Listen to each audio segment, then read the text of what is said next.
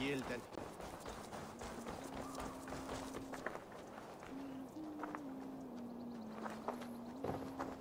I watched you on your approach.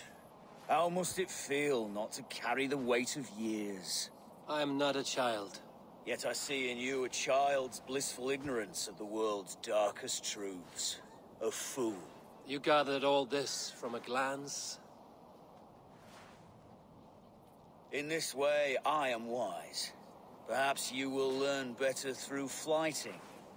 I will challenge you. I accept, and I will place a wager on it. Here's my bet. You may begin. You are savage, uncouth, and care little for life. Like the rest of your kind, you breed misery and strife.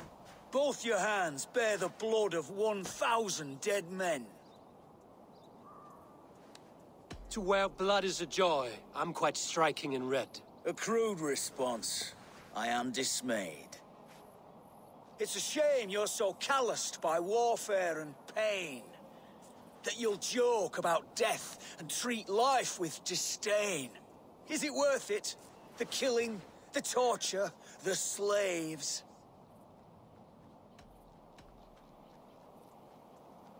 It is not mine to judge, only fill up the graves. Ah, that was fine.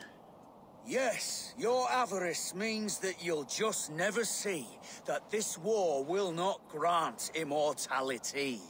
You have one life to live, so why throw it away? To ensure that I'll sit in Valhalla one day. Enough! I've heard more than my fill of your cruelty. Take your winnings. May spending them bring you fleeting joy. I promise it will.